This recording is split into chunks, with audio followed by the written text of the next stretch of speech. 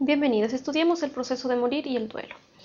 Entre algunas concepciones sociales de la muerte, esta está que la muerte se la experimenta indistintamente del contexto. Eh, cuando se habla del proceso de muerte, se está hablando también de una ayuda a preparar para eh, tener una muy buena, bueno, una buena muerte y que se logre un aprendizaje de esta experiencia, haciéndola ver como una experiencia trascendente eh, de la vida.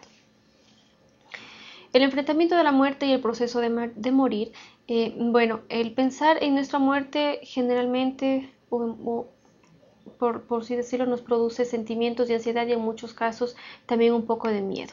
A pesar de todos los avances científicos, todos los seres humanos terminamos en la muerte. ¿Cómo es el proceso de duelo?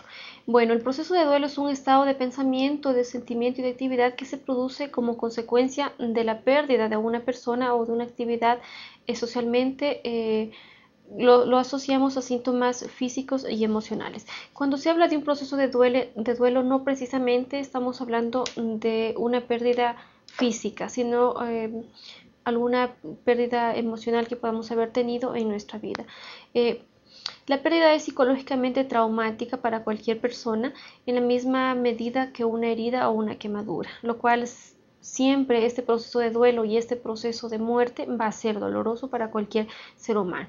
Necesita un tiempo y un proceso para volver al equilibrio, por ello se le llama duelo, porque este es un proceso en donde la persona va a pasar por diferentes etapas para volver a tener un equilibrio en su vida. El duelo es la, reacción normal después de la muerte de un ser querido.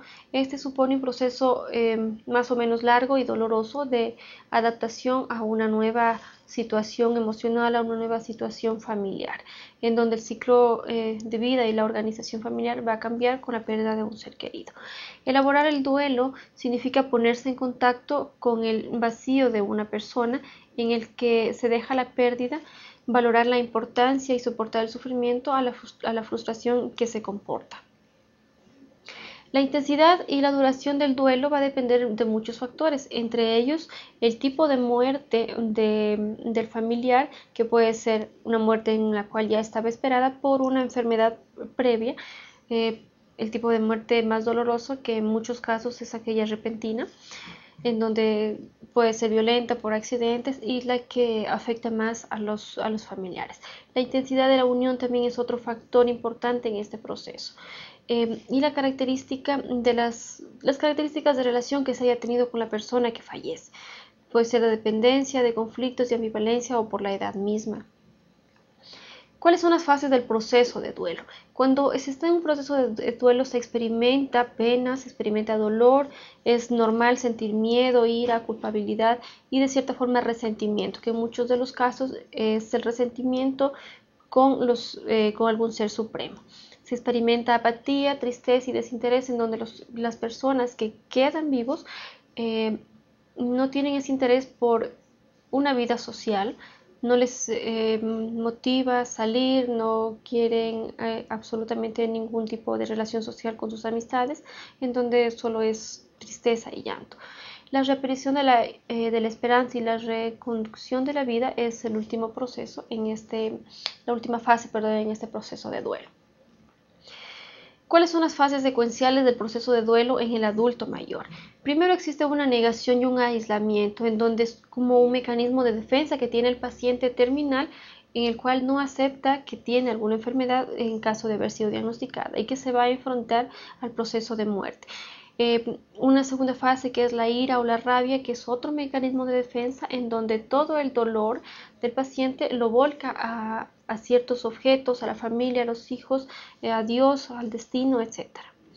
Es el, regateo o la negociación en donde los pacientes eh, ofrecen portarse bien o estar bien con, ellos mismos, con su familia, para que les devuelvan la salud. Eh, luego de esta negociación viene ya lo que es la depresión, porque existe ya una aceptación del proceso mismo que se va a dar en caso de que sea una enfermedad, que es una etapa peligrosa en donde existe eh, mucha tristeza, mucho llanto y en donde hay que apoyarlos a los ancianos, porque este descuido de ellos, si caen en una depresión, pueden acelerar ese proceso de muerte. Y la aceptación que generalmente es la última etapa en donde ya antecede al proceso de muerte en muchos pacientes. Es decir, cuando ya se llega a aceptar que vamos em, a retirarnos de este mundo, eh, es que es un proceso irreversible, pero que es real y que muchas eh, veces es de trascendencia y que vamos a estar em, no físicamente, pero sí emocionalmente con nuestros familiares.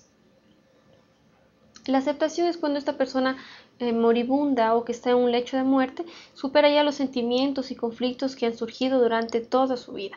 Ahora ya está listo para el hecho de la muerte y acepta que ya esta vendrá pronto.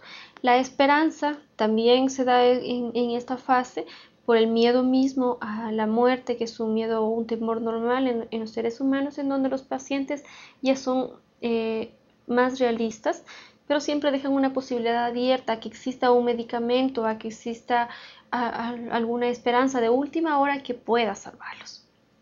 O que en todo caso esto simplemente, como dicen ellos, puede ser una pesadilla o un mal sueño. ¿Cuáles son las tareas del proceso de duelo? Primero, aceptar la realidad de la pérdida de un ser querido. Estas tareas son para las personas que quedan, eh, que quedan vivas. El sufrir la pena y el dolor emocional, que es un, proceso normal en las eh, personas que han tenido una pérdida, ajustarse al medio sin la persona desaparecida, es decir, organizar nuestra vida en relación a las personas que han quedado vivas y quitar la energía emocional del fallecido reconduciéndola hacia otras relaciones es decir, poder recordarlos a nuestros eh, seres queridos que ya no están físicamente con, eh, con un sentimiento de, mm, felicidad o de, de reencuentro.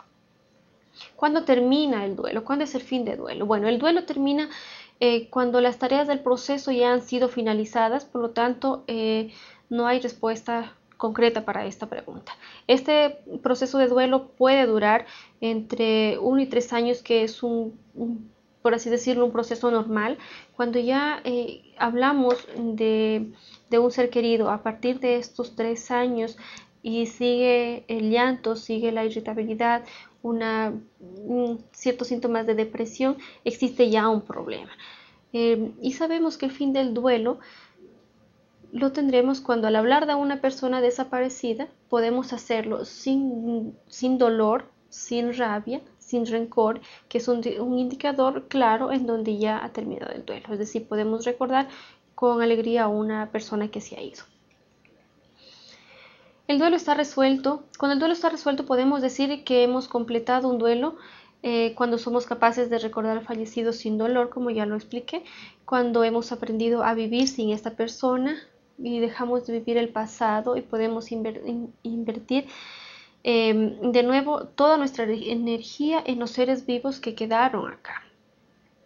Hay personas que nunca completan este proceso de, mm, duelo, en donde la pena eh, sigue y sigue siendo cada vez mayor. Es aquí cuando existe un problema ya y necesita un mayor apoyo.